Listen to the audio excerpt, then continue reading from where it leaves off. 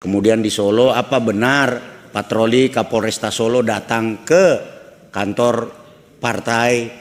Nah, kami sudah lakukan pengecekan. Dalam konteks operasi Mantap Brata memang ada target tempat Pak. Ada target kegiatan, ada target orang, dan ada target benda, benda Pak. Uh, jadi tempat, kegiatan, orang, dan benda atau barang Pak. Jadi Objek penting dalam pemilu ini, dalam tahapan pemilu, salah satunya adalah kantor-kantor Pak, kantor-kantor KPU dan sebagainya. Nah, kami juga jawab terkait dengan pemasangan CCTV Pak, supaya tidak disalah tafsirkan. Dalam berbagai kesempatan sering terjadi perbuatan pidana seperti uh, aksi anarkisme, kemudian teror dan maka sangat perlukan adanya uh, data video dengan highlight HD itu Pak. Pun kita tidak pasang di dalam kawasan kantor KPU. Kita pasang publik, Pak. Contoh misalnya yang menjadi tanggung jawab kami KPU RI yang berada di Jalan Imam Bonjol.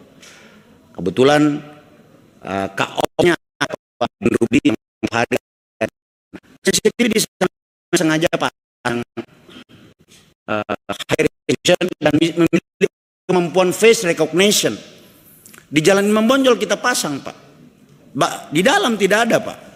Kalaupun kita membutuhkan video yang ada di dalam, maka harus ada laporan polisi Pak. Setelah naik sidik, baru kami meminta rekamannya.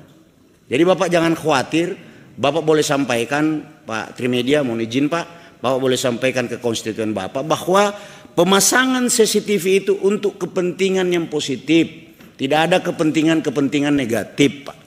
Sama dengan kita pasang CCTV di pabrik atau percetakan yang mencetak tentang uh, surat suara.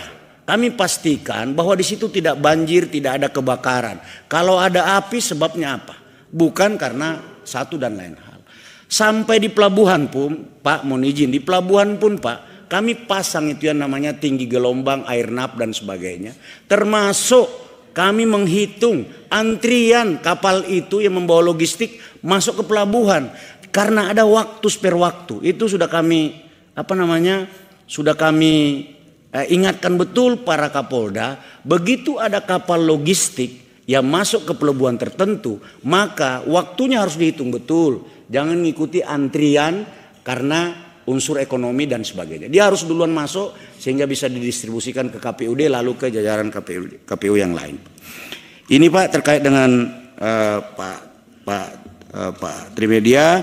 Kemudian terkait dengan laporan ke Polda Metro Jaya sekali lagi ini fenomena Pak. Memang betul tadi sudah dicek oleh eh, Kasatgas Gakum bahwa ada laporan sebanyak enam laporan polisi terhadap saudara Aiman Wicaksono. Ada enam laporan Pak. Karena ada laporan, maka uh, penyidik Direktorat Reserse Kriminal Khusus Polda Metro Jaya akan melakukan klarifikasi Pak. Klarifikasi ini kan artinya melakukan penyelidikan. Apakah ada perbuatan pidana atau tidak. Kalau tidak ada, seperti yang disampaikan oleh Pak Taufik Basari tadi, ini kita anggap sebagai bagian daripada proses demokrasi menyampaikan pendapat. Tapi publik juga harus dididik untuk tidak menyampaikan sesuatu yang tidak berdasarkan fakta. Apa benar ada komandan yang memerintahkan bawahannya berpihak kepada caleg tertentu atau partai tertentu atau capres tertentu? Apa benar seperti itu? Siapa? Kan katanya banyak. Nanti akan kami klarifikasi, Pak. Jadi tidak usah takut, Aiman datang saja. Siapa orangnya? Buka. Jangan cuma berani bicara tapi tidak berani bertanggung jawab. Karena jangan membangun sebuah narasi yang kemudian berakibat kepada terganggunya alam sadar publik. Saya kira Komisi 3 sangat memahami ini. Fenomena boleh 2019 boleh interupsi Pak Ketua, Pak Ketua. Ya, mau diinterupsi ya. Pak? Soal soal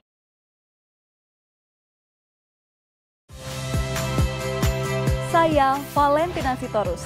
Saksikan program-program Kompas TV melalui siaran digital, pay TV, dan media streaming lainnya. Kompas TV, independen, terpercaya.